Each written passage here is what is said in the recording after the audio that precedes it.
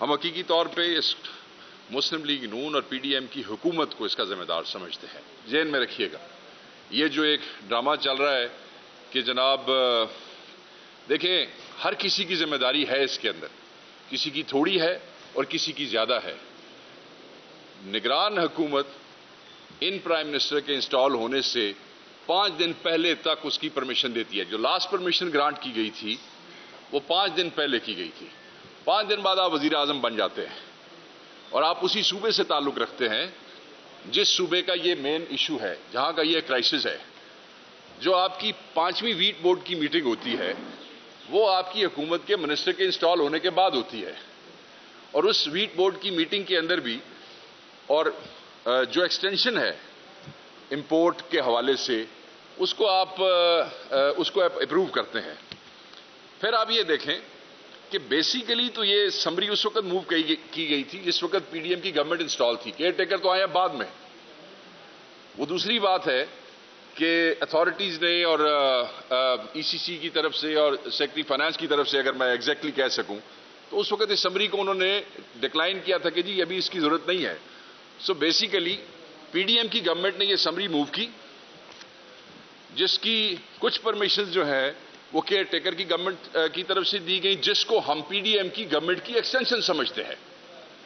بہت سے وزراء جو اس وقت پی ڈی ایم کی گورنمنٹ کا حصہ تھے، وہی پھر بعد میں جا کے حصہ بنے اور پھر وہی بیوروکریسی تھی جو پی ڈی ایم کی گورنمنٹ کا حصہ تھی اور اس میں بہت سے سیکٹری صاحبان تھے جنہوں نے کنٹینیو کیا ہے۔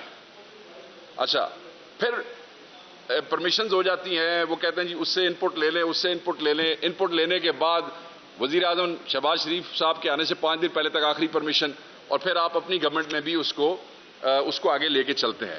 تو اس کا یہ جو میں نے آپ کو eh, تھوڑا سا اور بھی دیا ہے، ہم ان کو ذمہ دار سمجھتے ہیں۔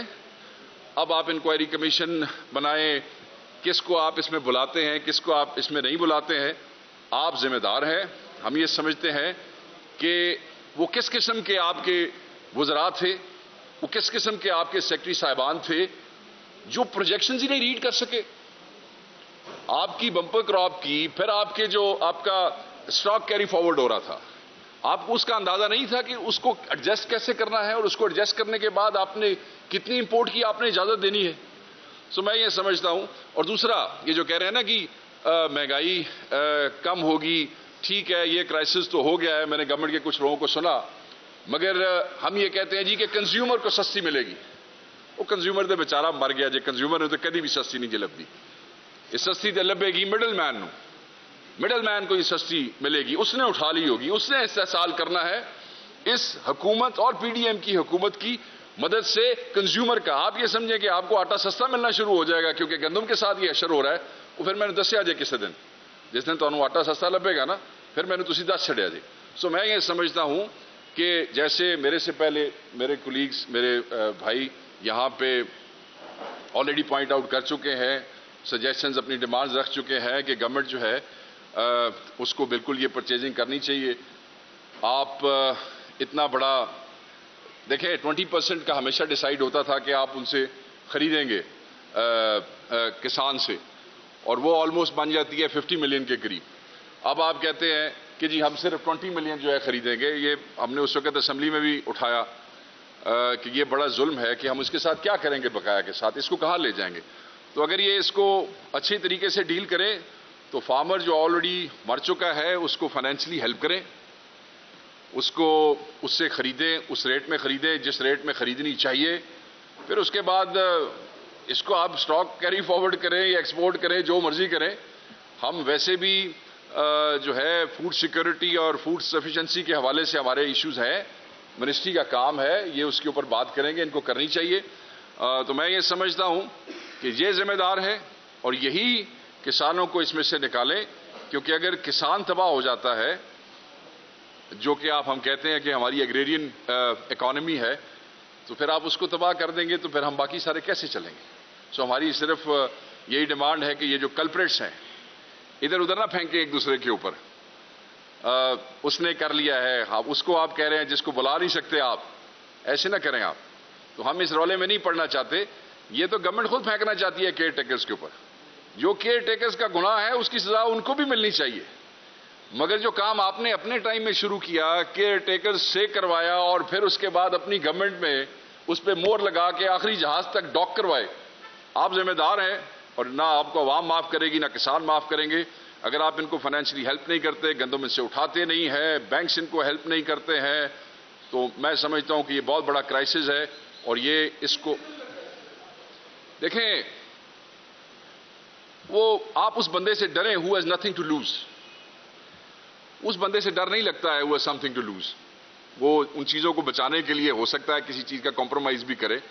سیاسی لوگ جو ہیں وہ پھر مسلطوں کا شکار ہو جاتے ہیں، مگر غریب کسان جس کے بچوں کا روزگار اور اس کا لائیولی ہوڈ آپ نے اس سے چھین لیا ہے he has nothing to lose if he comes on road جیسے باقی کئی ملکوں میں ہوا، تو یہ آپ کے لیے بڑا خطرناک ہوگا۔ اس کو، دیکھیں چیزیں ٹریگر کرتی ہیں نا۔ اگر یہ ٹریگر کر جاتا ہے یہی ایشو تو یہ اس کو کیسے سنبھالیں گے؟ کیا ماریں گے کسانوں کو؟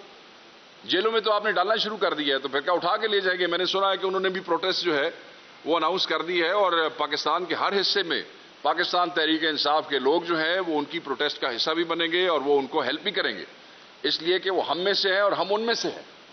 سو میں سمجھتا ہوں کہ اس چیز سے آپ کو بچنا چاہیے۔ جن لوگوں نے پیسے کمائے ہیں just because Russia Ukraine Latvia Romania یہاں پہ انٹرنیشنل مارکیٹ کے اندر اس ٹائم میں کلیپس ہو گیا تھا گرین پرائسز کے حوالے سے اور پھر لوگوں نے اس کو سستی گندم وہاں سے اٹھائی ہے۔ اب یہ بھی دیکھیں کہ صوبائی حکومتوں نے وہ گندم خریدی کتنے میں ہے اور پھر اس کی سپورٹ پرائز کیا رکھی ہے۔ مطلب وہاں سے وہ تین تین ہزار میں بتیس بتیس سو میں خرید کے لا رہے ہیں اور یہاں آپ ان سے مطلب ہے کہ میرے خیال forty seven forty five sixty eight eighty five تب آپ لے رہے ہیں۔ Somebody has made a lot of money and it is the responsibility of the government to find it out so ہم اس پہ میں یہ نہیں کہتا ہوں کہ کیئر ٹیکر گورنمنٹ کا اس میں کوئی حصہ نہیں ہے۔ کاغذ بول رہے ہیں نا۔ کاغذ بول رہے ہیں کہ کون سی اپروول کہاں پہ ہوئی، کون سا جہاز کس وقت آیا۔ مگر میں یہ سمجھتا ہوں کہ سارا ملبہ کیئر ٹیکر پہ نہیں ڈالا جا سکتا ہے۔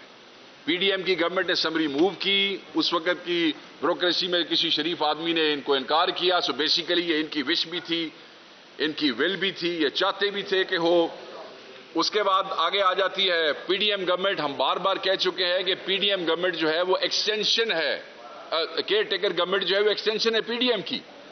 تو آپ مجھے یہ بتائیں کہ جو پی ڈی ایم کی گورنمنٹ کے لوگ تھے کیا کیئر ٹیکر گورنمنٹ سے ان سے کام لینا کو مشکل تھا؟ کیا وہ کیئر ٹیکر سے کام نہیں اپنی مرضی کے ڈی سی لگوا لیے اپنی مرضی کے ایس پی لگوا لیے اپنی مرضی کے چیف سیکرٹری اور آئی جی تو لگوا لیے؟ تو اپنی مرضی کا جہاز نہیں سی منگوا سکتے؟ اپنی مرضی کا اپروول نہیں سی لے سکتے۔ سو یہ انہوں نے ہی کیا ہے۔ تو ہم یہ دیکھتے ہیں کہ وہ جو حنیف عباسی صاحب کا اور former caretaker prime minister کا وہ ہے، وہ پتہ نہیں، وہ ایک سوچی سمجھی، ایک سازش ہے کہ ہر چیز ادھر ڈال دی جائے، مگر عوام اصل کپڑے کو نہیں چھوڑے گی۔